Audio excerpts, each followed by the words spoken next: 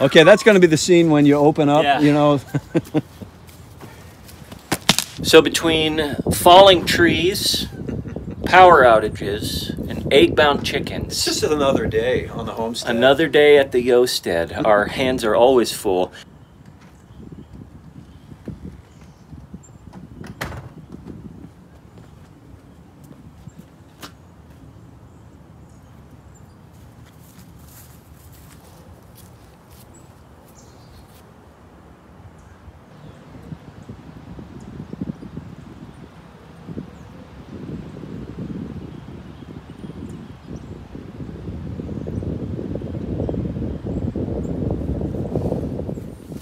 Hi there, folks. I'm Sean the Modern Yeoman, and I'd like to wish you a happy new year.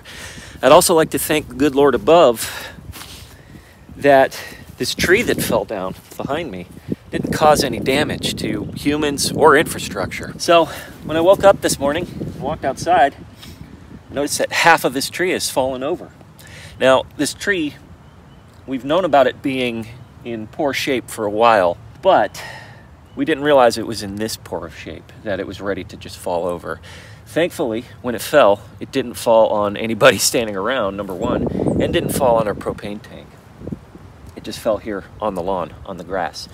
What I would like to do at this point is probably cut down the rest of the tree, because the rest of the tree, I'm thinking, is dead as well. And it's just a danger sitting there. So I think I'm going to enlist the help of my dad get this thing down.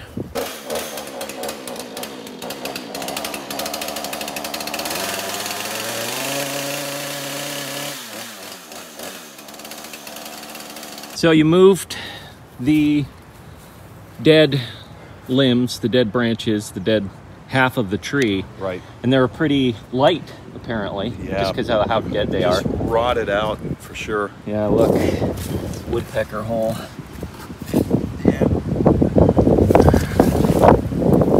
So I don't know about the rest of the tree if it's in a similar condition, but We're gonna try. So, what do you think we should do here? Um,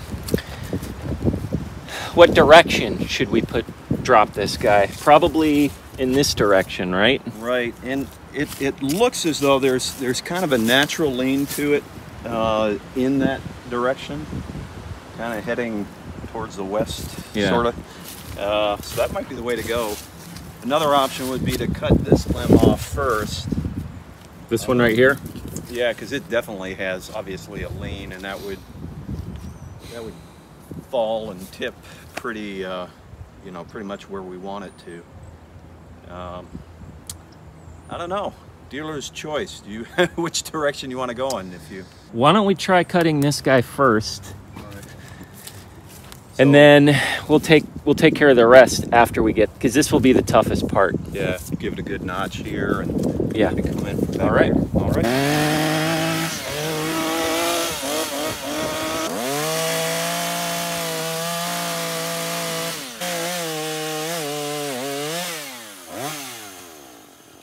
Just missed it. Yeah.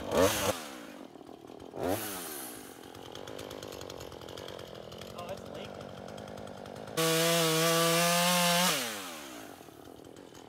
There we go. Okay. you know, clear this stuff out of the way, obviously. Um, then a good cut, like right, right in here. There we go.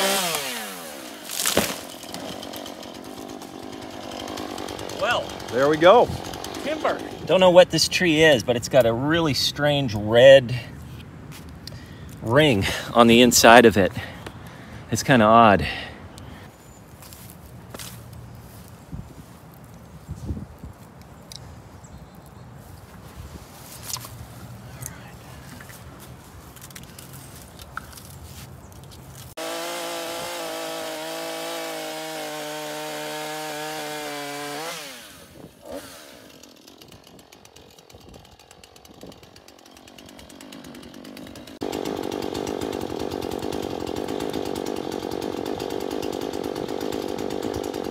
Oh, there we go.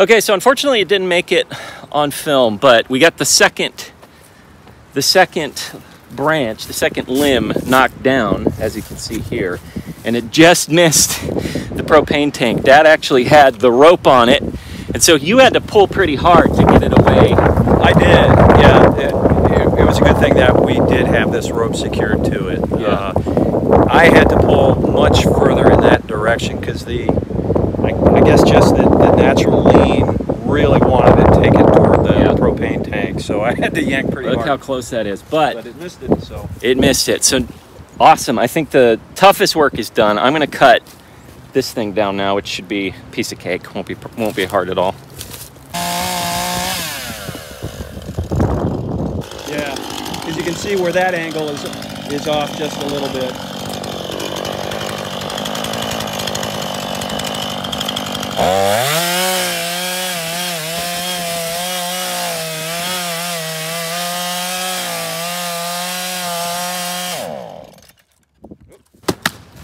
Oh.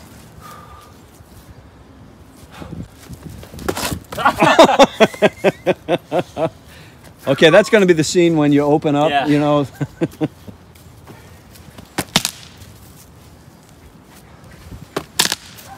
Timber. Woo. Feels good. Feels really good. Now I gotta clean up.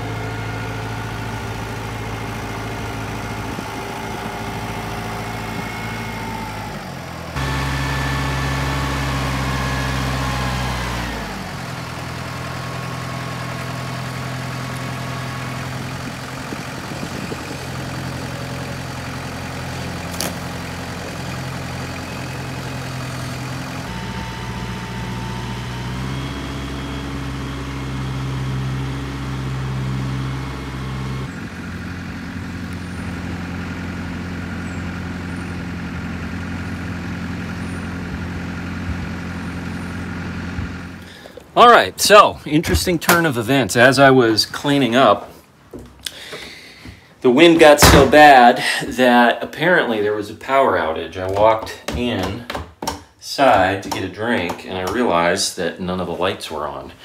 So I just checked on the power outage map online and apparently it just happened. So I haven't had any updates. But it changes my focus because now I'm not going to focus on the stuff in the yard. I mean, I will take care of that, but now I need to make sure my generator's up and running. So I'm going to change, like I said, I'm going to change gears and check on my generator because we don't know how long this will last, and I want to make sure my freezer is plugged in because that's filled with meat. I'm going to keep it closed, going to keep the fridge closed, and cross my fingers that the lights turn back on soon.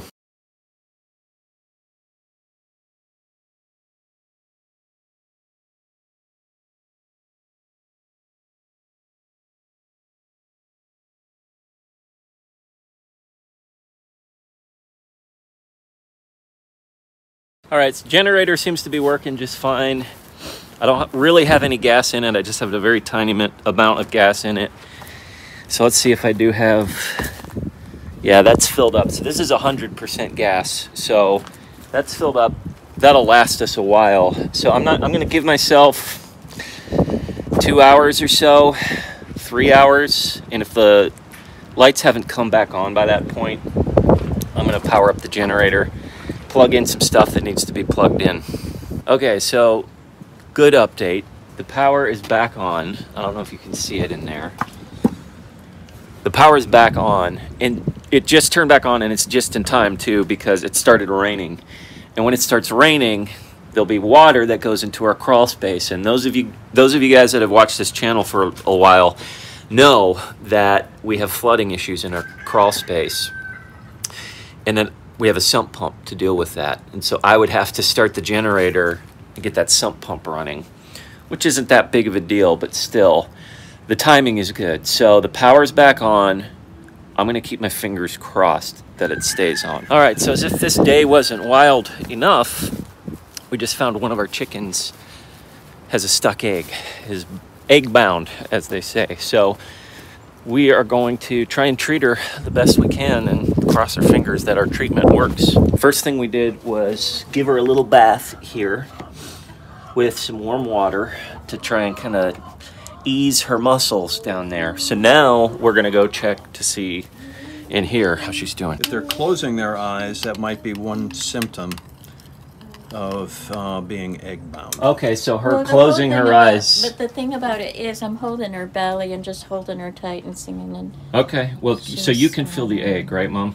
I'm pretty sure. Okay, so what I'm gonna do, what do you wanna Yeah. hold that? First thing I'm gonna do is give her some VetRx. This is just a It's always handy good. thing to have Yeah. for chickens. So I'm gonna put this down her throat. She's so comfortable. oh no, honey, you're okay. Everything's All right, okay. there we go. All right, open your beak, and then Grammy will hold you again. Okay. Okay, that woke her right up. so I gave her one of those, a shot of that, and then now, Dad, you got some Tums mixed in because Yeah. you read that. Uh, the calcium, uh, the calcium that's in uh, these tums Mhm. will induce contractions. Okay, let's So- give it a shot. Kind of a kind of a pitocin for chicken. They're supposed Okay. to. They're supposed. Wait, no, they're supposed to peck at it themselves. Well, we'll Well- leave some in there for her, Yeah. but we will need to get some down her gullet. Okay, that's good. Can I hold her? you no, have she's held her. comfortable. Look at She her. will be very comfortable in here. So now we need to let we need to cross her fingers that the between the RX and the Tums that'll do its thing. Am I holding her? Let's get that egg out, girl. You're okay, honey. I should probably no, get her I mean, some other water. than the, the warm bath, uh, it said you can keep her in a warm bath for upwards of 30 minutes. Okay. Um, but that's Well, I'm going to go ahead and get some water for her, and we're going to cross her fingers that she makes it. Um, I'll leave this here. Cool, thank you. So between falling trees, power outages, and egg-bound It's chickens, just another day on the homestead. another day at the Yosted. Our hands are always full, and I'm very thankful that I got my dad here. Happy to help. As always, happy to help. Um, he's just as much of a homesteader as Holly and I are. So, um, thanks for hanging out with us on this action-packed day. And until we see you guys next time, remember, as always, slowly, slowly.